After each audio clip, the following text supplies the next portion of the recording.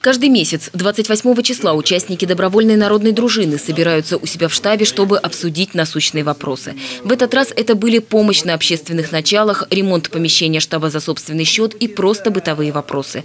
Основной вид деятельности ДНД – это охрана общественного порядка. Они патрулируют город с 8 утра до 11 вечера в две смены совместно с сотрудниками полиции. Многие занимаются дружинной работой уже много лет наверное, с 80-х лет, еще с савдеповских времен. Поэтому этот раз э, сразу были приглашены те, которые в архиве в администрации с, сохранились, и нам выписали там э, сразу, вот и сейчас поменяли.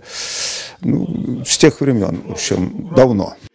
Состав десногорских дружинников небольшой, всего 26 человек, но все они как большая дружная семья, поэтому посторонним здесь не место.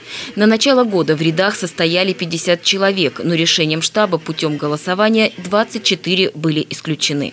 Причины разные – нарушение общественного порядка, невыход на дежурство, в целом просто нежелание заниматься этой работой. Основной костяк сформирован, но они всегда рады принять новобранцев в свои ряды всех жителей города Десногорска, у кого есть желание э, осуществлять охрану общественного порядка, помогать сотрудникам полиции.